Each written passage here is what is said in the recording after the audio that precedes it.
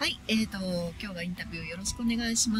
す。はい、じゃあ最初に自己紹介で、あの、ご自身のお名前お願いします。はい。京都で書道サロン結びを経営している諏訪真理子と言います。よろしくお願はいいいた、しよろます。しくお願いします。えっと、マリコさん、今回、えっと、リブランディングアカデミーの1期生で入っていただいてるんですけれども、入るっていうきっかけになる、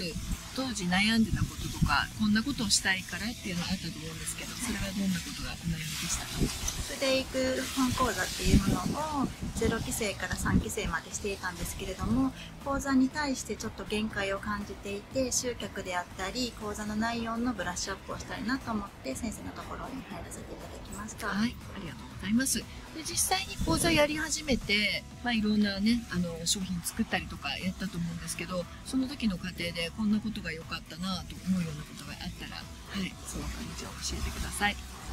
講座の作り直しの時にやっぱり自分のやってることであったり自分の深掘りっていうのをしないといけないなっていうのはあったんですけれどもやっぱり一人でできない部分を先生に助けてもらったり講座を一緒に受講してる仲間の人たちのいろんなお話を聞きながら深掘りして、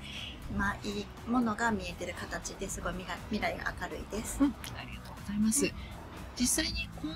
講座をこういうタイプの人ならおすすめとか、そういうこう自分が思うこれはこういう人なら受けてほしいなっていうのがあったら教えてください。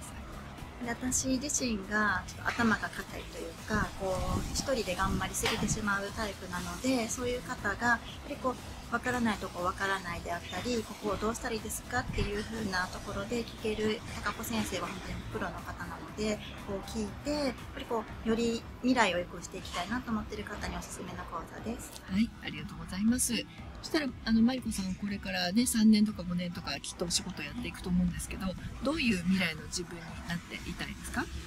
の講座自身があのシンデレラプログラムっていうのを再構築してしていこうと思ってるんですけれどもやっぱり私自身もやっぱり女性が輝く世界を作っていきたいという部分で私自身も本当にこう笑顔で人生楽しく3年後も5年後もずっと明るい未来を描いて頑張っていこうと思ってます。はい、ありがとうございました。頑張っててください。応援してます。